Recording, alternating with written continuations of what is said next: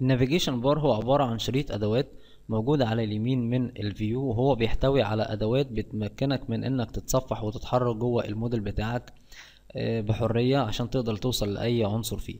طيب هنبدأ مثلا عندي هنا على اليمين هو فوق في ال steering wheel ودي هنتكلم عنها في فيديو تفصيلي خاص بيها.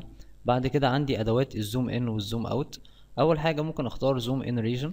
إن أنا بعمل آه، zoom على منطقة معينة من الرسمة بتاعتي بعمل مستطيل حواليها كده وأسيب بيروح جاي عامل zoom على المنطقة اللي أنا حددتها جوه المستطيل. ممكن بعد كده تعمل zoom out 2x اللي هو بعمل zoom out أبعد عن الرسمة دي مرتين. بعد كده في اختيار تاني اللي هو ال zoom to fit بحيث إنه يخلي الرسمة في وضع ملء الشاشة تقدر تشوفها كلها.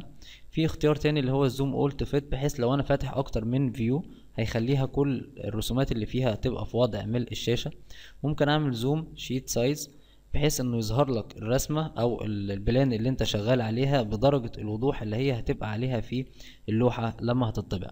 بعد كده عايزين نتكلم عن مكان ال navigation bar ممكن لو أنا عايز أغير مكانه أضغط على الزرار الصغير ده هيفتح لي drop down menu هتلاحظ إن في علامات صح قدام الأدوات اللي موجودة عندي. ممكن أظهر أو أخفي أي أداة حسب استخداماتي ليها.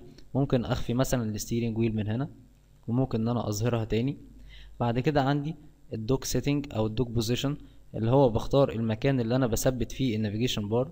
لاحظ هنا عندي option في الأول اسمه ال link to view cube هتلاحظ إن ده بيربط ال navigation bar مع ال view cube يعني أي تغيير في المكان هينطبق على الاتنين مع بعض. وليكن مثلا هنخليه في ال Bottom Left في الجزء السفلي تحت على الشمال.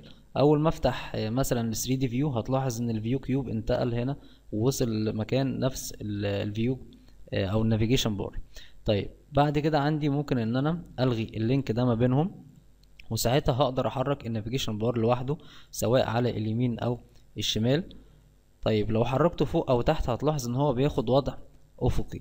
الحاجة التانية إن أنا ممكن أتحكم في الأوباسيتي أو درجة الشفافية بتاعته من خلال مثلا إن أنا أخليها صفر كده بيختفي. أول ما الماوس يقرب من الحافة اللي هو متثبت عليها هيظهر تاني فالأفضل إن إحنا نسيبها مثلا على الخمسين في المية.